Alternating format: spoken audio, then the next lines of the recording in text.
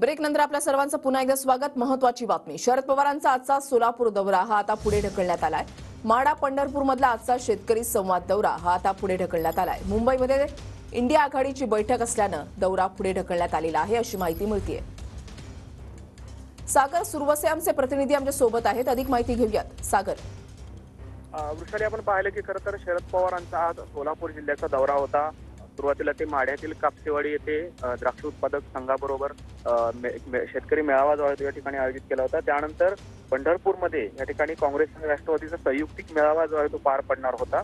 यामध्ये सुशील कुमार शिंदे देखील त्यामध्ये येणार होते. मात्र अचानकपणे इंडिया आघाडीची जी कोर कमिटीची बैठक आहे ती मुंबईमध्ये पार पडणार आहे. आणि त्यासाठीच शरद पवारांनी आज दिवसभरातले सर्व कार्यक्रम जे आहेत ते पोस्टपोन करून पुढे ढकलून या ठिकाणी ते मुंबईकडे जाणार आहेत.